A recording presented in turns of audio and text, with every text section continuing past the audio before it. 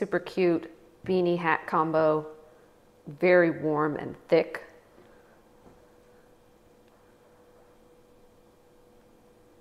It blocks the wind really good and you can see it covers a good portion of your neck and face.